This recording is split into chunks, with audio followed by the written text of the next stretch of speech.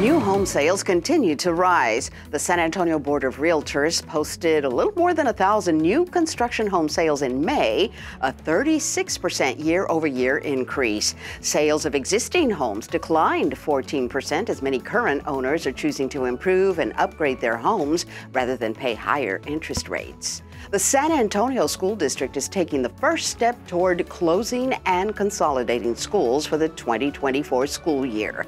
The board Tuesday night approved a September 18th deadline for staff recommendations.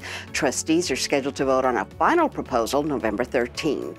A new law eliminating locally mandated water breaks for construction workers goes into effect September 1st. Ordinances in Dallas and Austin requiring 10 minute breaks every four hours for construction workers will be nullified. San Antonio was considering similar rules.